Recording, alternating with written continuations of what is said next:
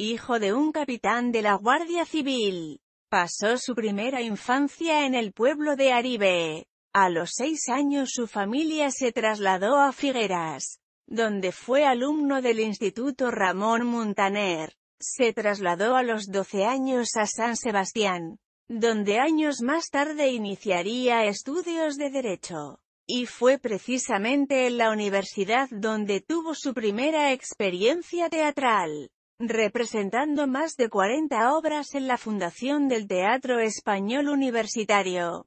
Contrajo matrimonio con Maite y Mazaramendi. Tuvieron tres hijos Ainhoa, 1969, y Doya, 1964, y Alfredo, 1966.